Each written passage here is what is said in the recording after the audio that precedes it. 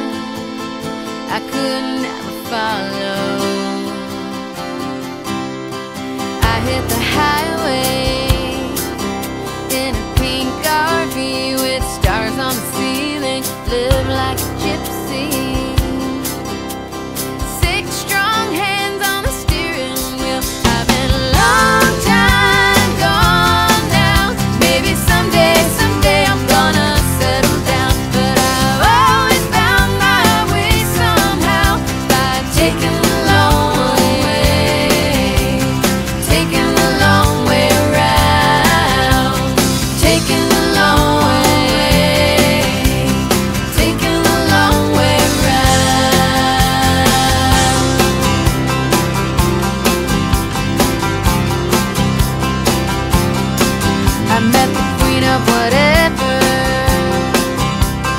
Drank with the Irish, spoke with the hippies, moved with the shakers.